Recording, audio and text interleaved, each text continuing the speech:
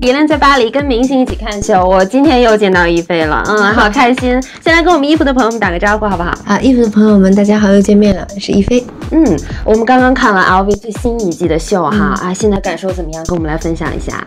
我觉得这一季的秀有我特别喜欢的这个舞台剧和音乐剧的这个元素，有很多意外的这个设计点，包括音效啊，还有整个氛围都很有神秘感，很不一样的感觉。嗯，很有神秘感。嗯，哎，今天这个也是去到奥赛博物馆。哎，你刚刚抵达现场的时候是什么样的一种感受？我觉得确实有点像旅游的感觉，因为一开始进到那个大厅还是非常大的，确实有很多的这个设计的新意在里面。我觉得时装和这种博物馆的这种结合，还有这种舞台形式的结合，让我觉得眼前一亮。嗯，我看到一菲今天这个装扮哈，呃，也来给我们介绍一下，觉得它亮点在哪里？要舒适，然后还是要有一点酷酷的这种感觉，符合这个 Nicola 的这个设计的这个理念。嗯，都挺有力量感的。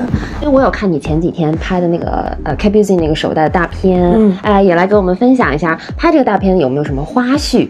嗯，其实那天非常非常冷，非常冷，穿一个完全就是敞开的一件衣服。但是我其实挺想私藏那一套，包括另外一套我也非常喜欢。拍摄的时候在一个两米的高台，所以我要克服一些，因为我不是要做一些动作，会动来动去嘛。嗯嗯，脚后跟已经差不多就到到到头了，所以感觉还挺挺挑战的。而且他们是一次远程拍摄，国外同事在电脑上面去操作，所以确实还是比较有难度，但是是非常开。心，而且成片大家都很满意的一次拍摄，是我们看到那个效果也觉得哇，好惊艳的感觉，嗯，而且那个包跟你就特别特别契合，对，颜色也很好看，对，颜色也很好看。我们看到路易威登其实本身跟旅行就有非常深的渊源了，哎，那这次来到欧洲，工作结束以后有没有想说，哎，去哪玩一下？嗯，对，香包真的是超级好用，我就拖着我这个 LV 的小箱子，准备到处逛一下，会逛街什么的吗？会，我已经说好了要跟。